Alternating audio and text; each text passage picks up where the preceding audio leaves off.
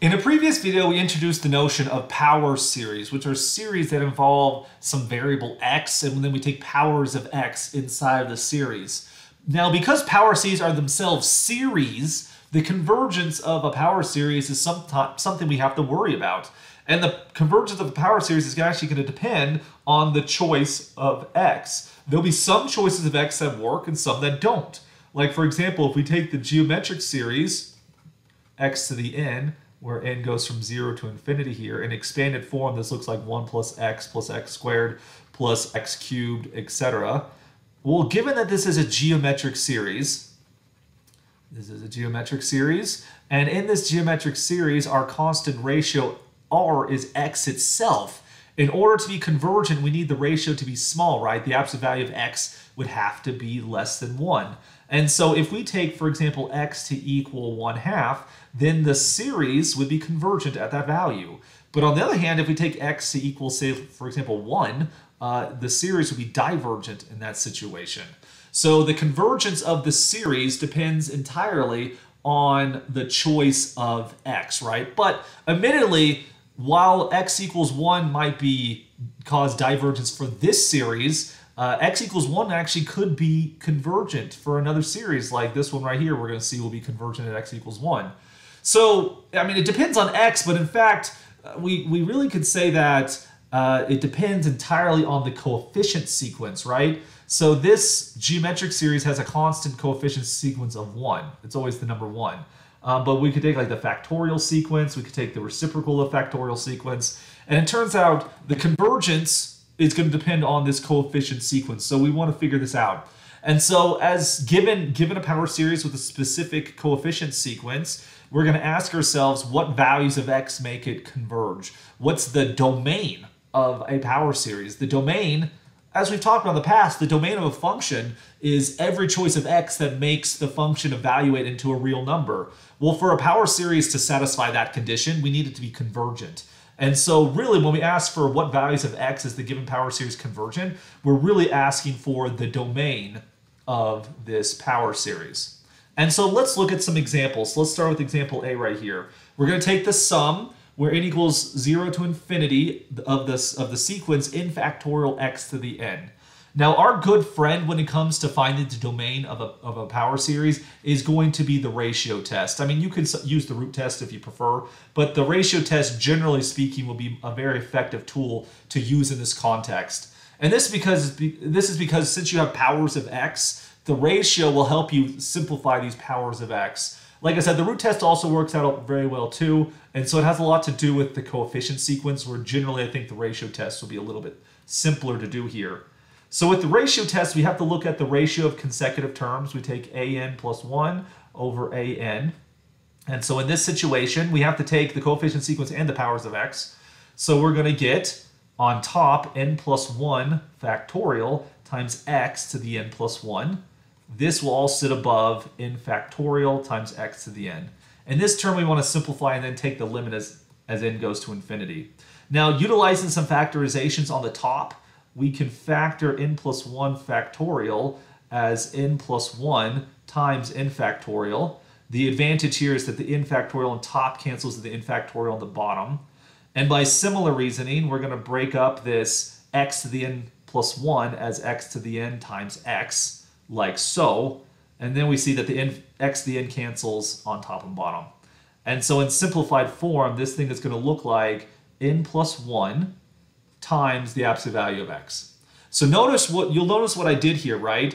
The absolute value of n plus 1, I actually removed the absolute value, I just took n plus 1.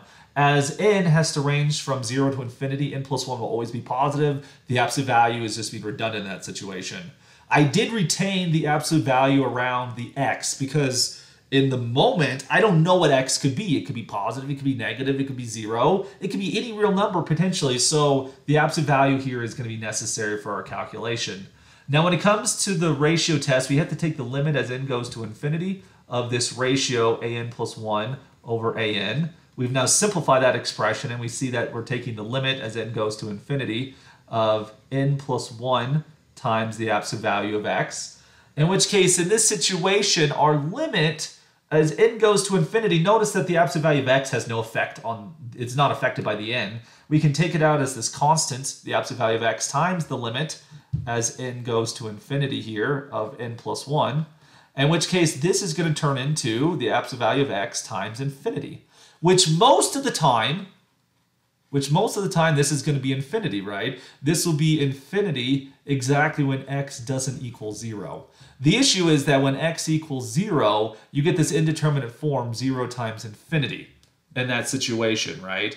Um, and it turns out that what happens here is that if x were to equal 0 in this situation, so if like this was 0, then n times n plus 1 times 0 would always equal 0. And so as n goes to infinity, this thing always equals 0. And so in the end, you're going to end up with this equals 0 in that situation. So what's the domain? Uh, what's the domain of the function in that situation? We see that for part A, the domain is going to turn out to just be the number 0 that when x equals 0, uh, if you plug in 0 into this thing, 0 times n factorial will be 0. And if you take a sum of infinitely zeros, you're going to get 0. The, this thing will be convergent at 0 because this series will actually go off towards 0 itself. Now, one thing you should notice is that for this power series, 0 is actually the center of the power series. And you're going to see that the center of, of the power series is always part of its domain. Um, but it turns out that's the only thing we get here. Uh, all right, so that's that's a first example. Looking at another example, we're going to see some some things very different in this situation. Um, and I guess I should mention that before we leave here, why why is it significant that this thing goes off to zero? When you're using the ratio test, if this limit is greater than one, you are divergent. When it's less than one, it's convergent. And so normally this is going to be infinity um, which is definitely bigger than one. The only way you can get less than one is when it's when the limit goes to zero, and that happens only when x equals zero. A little bit of clarification there. Um, a similar example we can see here if we take the sum when n goes from 0 to infinity of 1 over n factorial x to the n. Uh, we look at the limit of the ratios this time. It'll look very similar, an plus 1 over an, but as the n factorial is now in the denominator, this will look like x to the n plus 1 over n plus 1 factorial times n factorial over x to the n. Now the simplification you're going to see here is going to be strikingly similar. The x to the n's will cancel, the n factorial will cancel, and we're left with just the absolute value of x over n plus 1. And now this time around, as n goes to infinity, you're going to see a much different thing. Well, again, the, the absolute value of x here, which is a constant, this is going to go towards the absolute value of x over infinity. Which in this situation, as x can only be a finite number, if x is positive or negative, putting infinity in the bottom is going to squash everything. This is going to go off towards zero. But also in this situation, if x were equal to zero, you're going to get zero over infinity. That's There's no conflict there. Those both want to be zero. And so this thing is always going to equal zero, and in particular, zero is always less than one. So we actually get a very interesting observation here. In this situation, our our the, the ratio test says that this thing will be convergent independent of what x turns out to be. That this power series will be always, always, always convergent.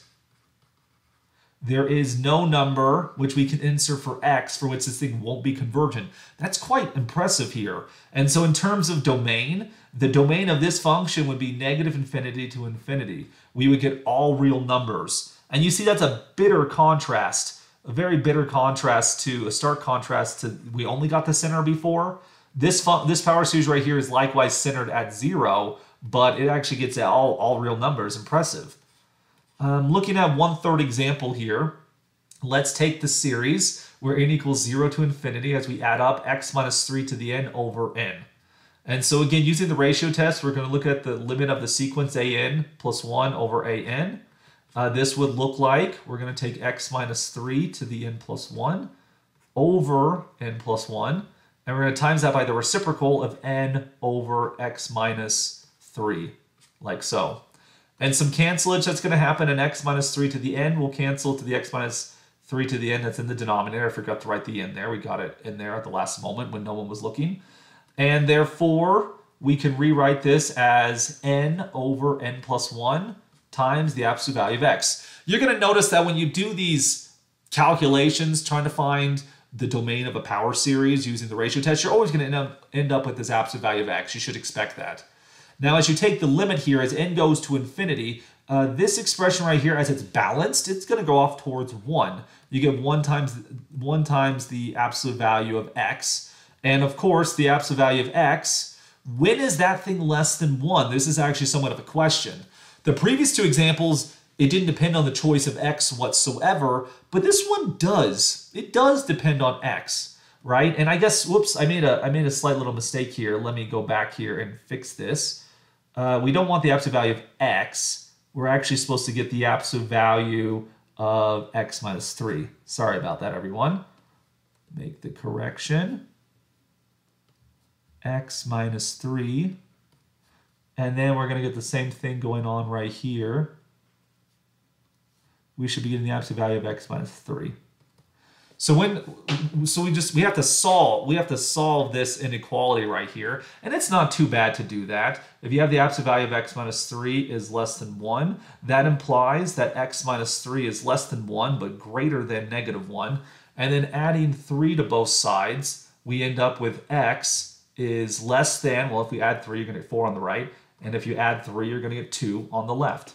And so this right here gives us gives us the domain of what's going on here. Our function uh, will, our, our power series here, which is a function, it'll be convergent from 2 to 4. Um, and we see we get something a little bit different here. But actually, now that you mention it, well, what happened? The, the, the ratio test only applies when you're less than 1 or greater than 1. When you're actually equal to 1, you're inconclusive. So it turns out we're not quite done here. Uh, we know that we'll be convergent between 2 and 4, but what happens at 2 and 4 itself? Hmm. Uh, well, if you if we actually were to plug these into the function, right? If we take, for example, x equals 4, then plugging 4 into the function, you're going to get the series n equals 0 to infinity. You're going to get 4 minus 3, which is 1, 1 to the n over n. This gives you the series 1 over n, as n goes from 0 to infinity. Oh, I, I guess I, there's a typo here. We can't actually start this series at 0 because it would be undefined. Uh, that again, no, for convergence, the starting value doesn't really matter here, which is why it doesn't significantly change much. But to be proper, we should start this series at 1, not at 0. Uh, but anyways, you notice when you plug in x equals 4, you end up with the harmonic series. The harmonic series. And the harmonic series is divergent. And so it turns out that x can't actually equal 4 for this series to be convergent. So we actually get every number up until 4, but we don't include 4 itself. But we see something different happen when we look at x equals 2, because when x equals 2, you're going to plug this into the series, n equals 1 to infinity. You're going to end up with 2 minus 3, which is actually a negative 1. You get negative 1 to the n over n. This is now the alternating harmonic series. And as it's a harmonic or uh, as it's an alternating series, the convergence is a lot easier to accomplish. By the alternating series test, this thing is actually a convergent series. And so that means we actually do converge at 2. And so we kind of see this curious behavior that this function's domain will be 2 to 4, where 2 is included and 4 is omitted. We are convergent from between all numbers, all numbers between 2 and 4, which includes 2 but not 4 itself. And these three examples are kind of curious and actually provide for us a general, general expectation of what happens with power series. So it turns out that for a given power series, you take the sum, an infinite sum of Cn times x minus a to the n. So this is a power series, just a generic power series centered at the number a. It turns out that the domain of that power series will be one of three possibilities. The first possibility the series will only converge at its center, x equals a, in which case the domain of the series will just be a single number a. On the other hand, though, you could write this as an interval. This is the interval from all numbers between a and a. I mean, it's kind of silly, but that is a possibility. And so that's that was like the first example we saw. Uh, another possibility is that our series, looking at the second case, converges for all real numbers. In which case, in that situation, our series would converge on the interval negative infinity to infinity, like we saw with our second example as well. And as a third possibility, it could be that there's some positive number r There's a positive number r, so that whenever the distance between x and from the center is less than r, the series will converge. And when the distance between x and the center is greater than r, then it diverges. In which case, the domain will be one of four possibilities. You get all numbers between a minus r and a plus r, not including the endpoints. You have all numbers between a minus r and a plus r, including the endpoints. And you have these half and half versions where you have all numbers between a minus r and a plus r. You have the left endpoint, but not the right endpoint, or you have the right endpoint, not the left endpoint. Uh, the example we saw previously actually fell under this case right here. You'll notice that in all three situations, uh, in all of these cases, the domain of the the domain of the power series was an interval, and therefore the domain of a power series is commonly referred to as the interval of convergence. Because a power series will always converge on an interval. It could be a finite interval um, with either zero length, um, it could be an infinite one with finite with infinite length, or it, something one of these finite ones right here. And so the length of this interval of convergence we refer to as the diameter of convergence. If you take half of that length, you call the radius of convergence. The radius convergence is particularly important in this second in this last case where the radius in that case is going to be r, right? Because you can go r to the left or r to the right of the center and you're guaranteed convergence as long as you don't go more than r. At exactly r, things can get a little bit fishy. Um, it turns out our first case also has a radius convergence. In that case, the radius convergence is zero. So you're really taking the interval a minus zero, comma a plus zero, like so. And then in the second case, we also have a radius of convergence of infinity, r equals infinity there. That's because this interval actually looks like a minus infinity, comma a plus infinity, like so. And so every power series has a radius of convergence and every power series has an interval of convergence. And the importance of this interval of convergence is it's the domain of our power series. And we typically use the ratio test to help us determine the radius of convergence. And then what about the endpoints? Well, we have to we have to kind of play a little bit of street fighting series to determine exactly what is going to happen at the endpoints like we saw in the previous slide.